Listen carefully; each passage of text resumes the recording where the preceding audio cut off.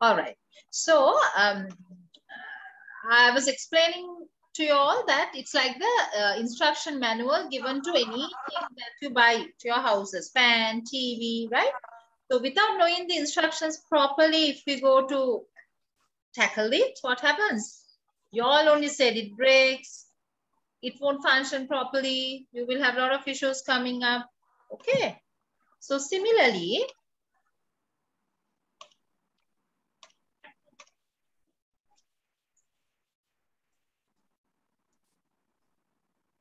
Life's instruction manual is what? Bible. Yeah, we say Bible. Holy Bible. correct. We say Holy hmm. Bible, right? So it is that important for us to know what is in the Holy Bible.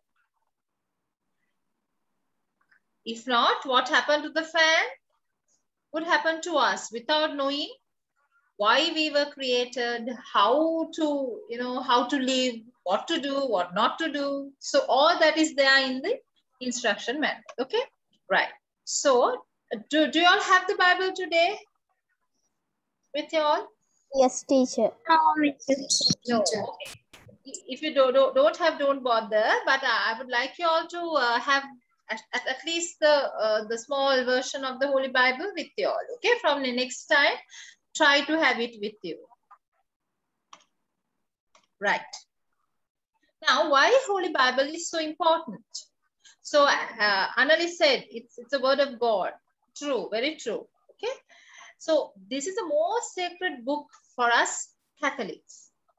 All right. You, you know, we have uh, different types of prayer books. Yeah. Yes. Yeah. So out of all, the most sacred, the most important is the Holy Bible, right? The, this book has been translated into most number of languages in the world. So the, this is that important. And then as Annalise said, the word of God is found here, right? And this is the foundation of our faith and Christian life. So as, as, as I told you, this is the instruction manual. If you do not know what to do, how to do, well, one might think, why actually God created me? So the answer is there in the Bible, in the Holy Bible. Okay. And the Holy Bible is all about the history of salvation.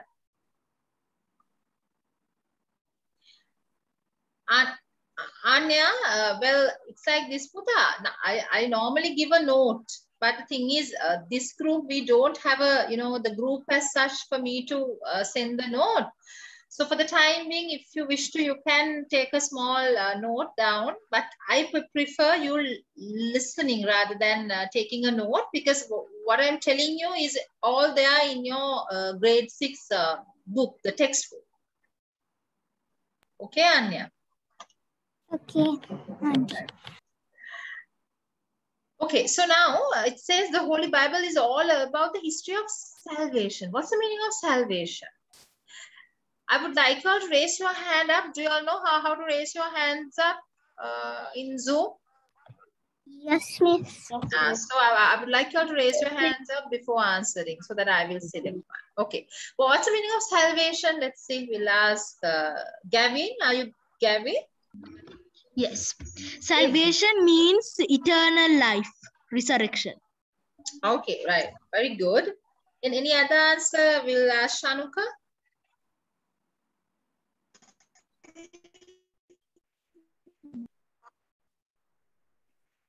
You're not, not clear, Putta. The,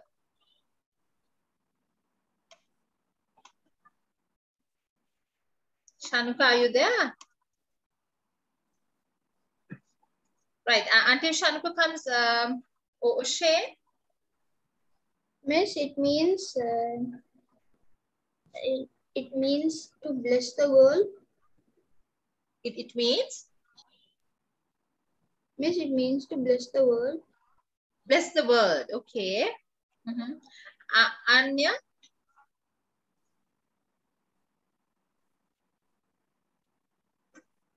Yes, Anya. Miss, my answer was already given. Ah, okay, that's fine. Right. Then my own, my own, are you my own? is it resurrection?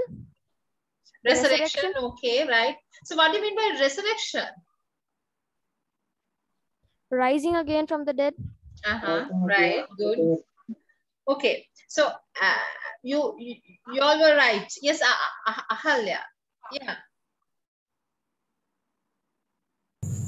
Salvation means deliverance from sins. right. Very good. Am I pronouncing your name correct? A- Alia? Ahalya. Ahalya, okay.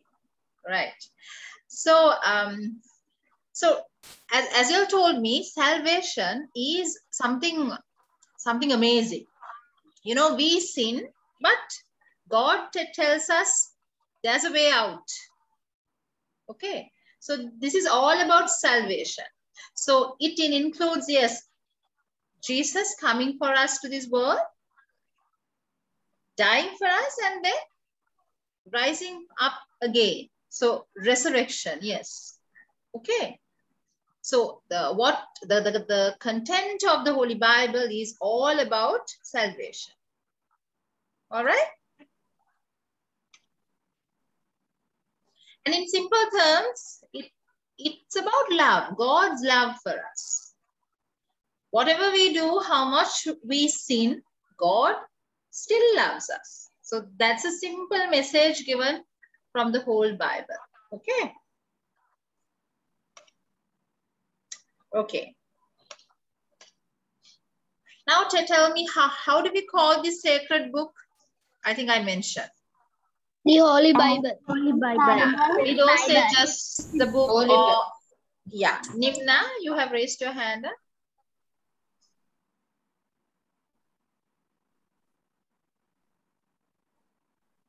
Yeah, you call it? Holy Bible.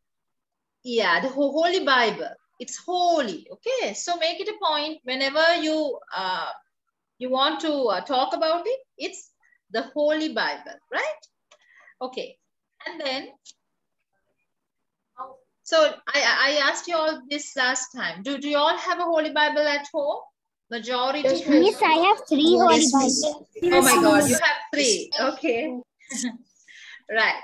So try to ha- have it somehow. If you do, don't have at the moment, don't worry. Try to ask your parents to bring a Holy Bible for you all. Okay. It's always nice to ha- have your instruction manual by your side. Isn't it so?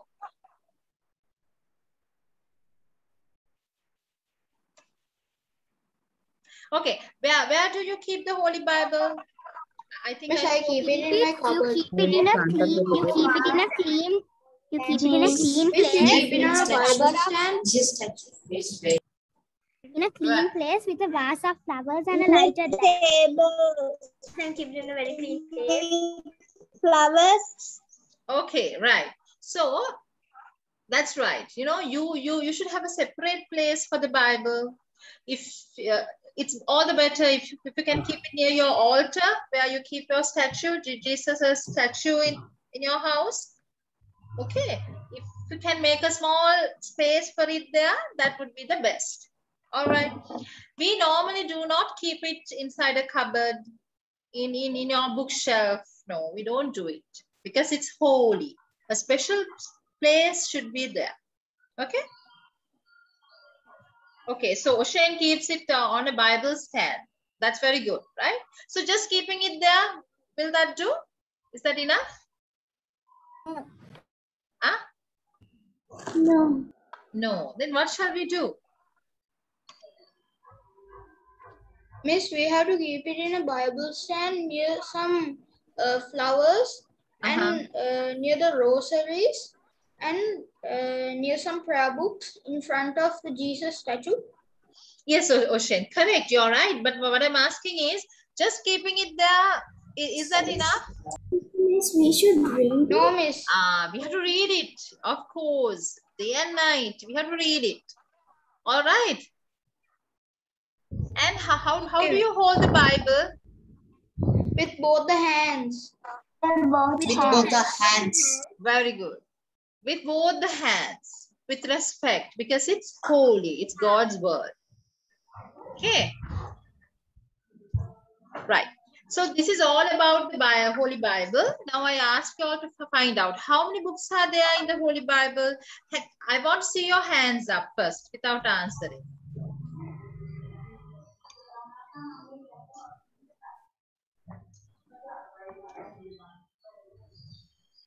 Okay, can I hear Wait, Rehan? Rehan, how many books are there uh, in the Holy Bible? Teacher, there are 73 books. I, I didn't hear you, Puta. Teacher, there are 73 books. Okay, 73. Bethany, 73 books. Evas. 73 books. Right, okay. So I, I think uh, you all know it.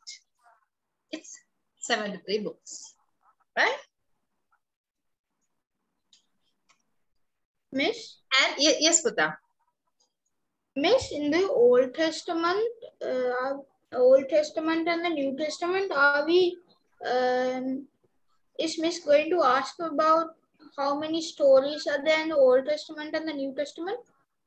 Well, not necessarily the number of stories, but well, the number of books you all should know. I'm, I'm going to talk about it now. Okay, Puta? So here, now you have two main parts in the Holy Bible, which, you all know already, Old Testament and the New Testament. Okay, so what, what's the difference uh, between the Old Testament and the New Testament? Can I hear Nehara? I, I, I couldn't ask you. I think you you raised your hand up. Nehara, are you there? In the Old Testament, we can find the God uh, before uh, before Jesus Christ, and in the New Testament, we can find after Jesus Christ. Okay, ve- very good, Nehara. Right? So that, that that's a simple difference. And there, there are so many other differences, but you know, that's a major difference, right?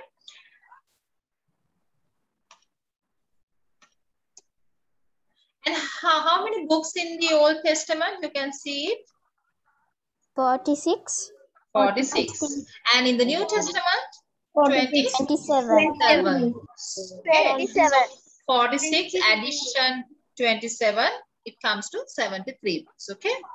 So uh, the old testament uh, would talk about uh, his the historical incidents about god and how god revealed himself through whom? Through prophets okay? Whereas in the new testament new testament it's all about the life of jesus and the first christian church right? Okay, so that's about the whole Holy Bible, right? Now I'm going to talk about the Pentateuch. Do you know the meaning of Pentateuch? First five books in the Holy Bible. Okay, very good, Anya. First five. Now- first five, uh, five books of the Holy Bible. Okay, right. Very good.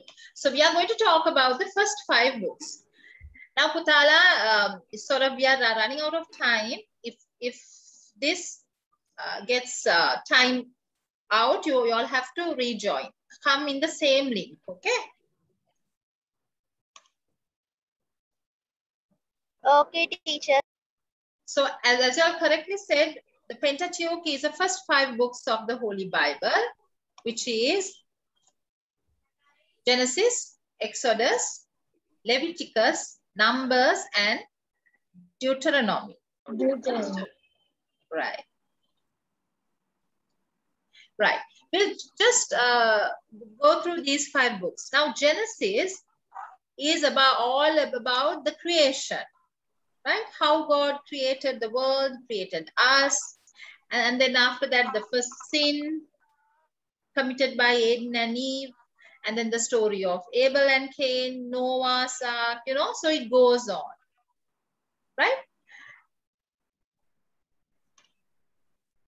So in the book of Genesis, all throughout it shows us, shows us how much God loved us. In any way, the whole the Holy Bible is about God's love. All right. And then the second book, E- Exodus, it is where God saved Israelites from Pharaoh and then through Moses guided to the promised land. Okay. Anya, do you have a question or you're raising your hand up? No. Okay. Then the third book is Leviticus. Leviticus is all about, in instructions given by God for Israelites. Then the fourth book, Numbers, it's about different types of kings. There were so many kings uh, during, uh, you know, a- after um, Moses brought Israelites from Pharaoh. So it's, it's about different types of kings who ruled there. And finally, De- Deuteronomy is the journey to pro- promised land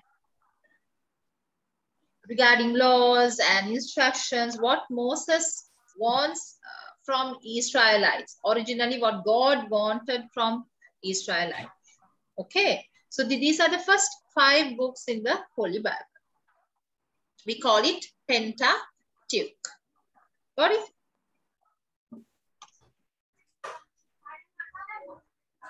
And then we go on to the four Gospels, right? Do, do, do you all know about the four Gospels? Yes, Miss. Yes, Right. Yes, teacher. Yes, Okay. teacher. We'll, we'll watch a small video. Saint And then, uh, Matthew, Saint Luke, Saint Matthew, Saint Luke, Saint Mark. St. John. Okay, very good. So you all, you all know, know it already. But let's watch a video and then after that, we, uh, I will ask you questions, right? Okay.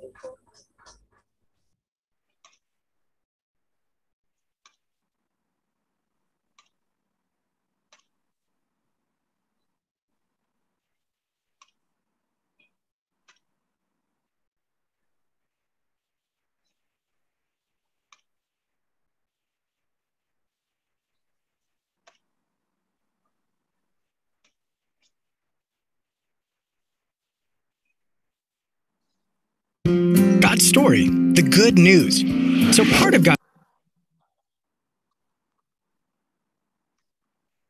story is about the gospel or the good news. And it goes like this. In the beginning, God made everything. The sun, the moon, stars, planets, the entire galaxy.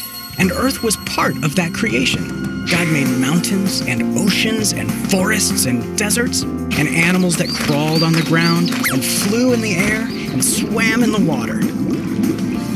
Then he made people, Adam and Eve, to live in a garden called Eden, and God called everything he had made good. There was just one rule Adam and Eve could eat anything they wanted except for the fruit from this one tree. But a snake tricked Adam and Eve into disobeying that one rule. Because of that, sickness, sadness, and all kinds of bad things came into God's perfect creation, all because people made wrong choices. Part of how God punished Adam and Eve was by not allowing them in the perfect garden anymore. And if that were the end of the story, that would be bad news for us. That would mean all the wrong stuff in the world would never be made right. But God still loved people, and He had good news for them. He was going to send a rescuer. So they waited, and waited, and waited. Then one day, the rescuer was born as a baby named Jesus. Christmas is when we celebrate the good news of Jesus being born. But it's not just that he was born, it's what he did later that was the best news of all.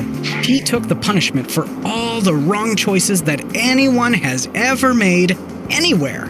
See, all of us have continued to make wrong choices, just like Adam and Eve did. And just like Adam and Eve, we deserve to be punished for our wrong choices. But here's the thing Jesus, the rescuer, never made a single bad choice. Kids, think about a time you made a bad choice. Maybe telling a lie, or taking something that wasn't yours, or hurting another person with something you did or said. Can you believe that whatever that was, Jesus never made a choice like that? And even though he never made a bad choice, he still took the punishment for our wrong choices? And then Jesus did something even more completely unexpected. He came back to life. Really, you can read about it in the Bible, in the stories written by Matthew, Mark, Luke, and John. We call those books Gospels, which is just an old fancy word for, you guessed it, the good news of Jesus coming to earth, dying for our wrong choices, and coming back to life. That's what we celebrate on Easter. But not just because coming back to life is totally amazing. By coming back to life, Jesus was showing that God can make anything new. There's nothing God can't do. He's more powerful than any sadness, shame, wrong choice, disease, disaster, and even death. And that's the best, most amazing good news of all. It's so amazing, Jesus' friends told everyone they could find about the good news. And those people told other people. And those people told other people. And on and on. And that's still happening today. In fact, you just heard the good news, and the Bible says if you openly declare that Jesus is Lord and believe in your heart that God raised him from the dead, you will be saved. For everyone who calls on the name of the Lord will be saved. That's another way to say God rescues us. And that rescue includes you your friends, your family, and anyone else in the whole world. And that's the story of the good news. So, in case you missed it, here's the quick version God made a perfect world. People made mistakes, and the world isn't perfect anymore. God promised his family a rescuer. The rescuer's name is Jesus. Jesus died to take a punishment we deserve, but he didn't stay dead. Jesus came back to life because Jesus can make anything new, and that's a part of God's story.